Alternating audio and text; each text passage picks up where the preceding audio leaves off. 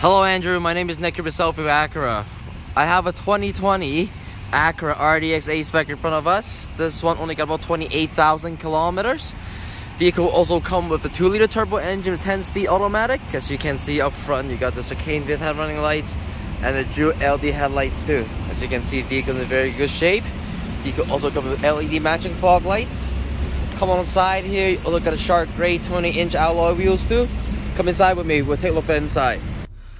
So this is how the interior looks. It comes with the uh, red interior. Over here you got your power windows, mirrors and lock. Up top you got memory seats. On the top corner you got the indicator for the blind spot monitor. Down in the bottom you got your lane departure warning. For mitigation, parking sensor, heater wiper and traction control and brake hold. Currently this one got about 28,000 kilometers. Vehicle also come heated steering wheel, dash control, volume control. Over here you got cruise control, adaptive cruise and lane keep assist. This is how infotainment system will look like and it's controlled by the touchpad down in the bottom here too. Vehicle will come with dual climate control, heated and ventilating front seats. And this is how your gear shifter looks like with the 10 speed automatic. And up here this is your dynamic mode selector. Vehicle will also come with panoramic sunroof too. It's all the way to the back.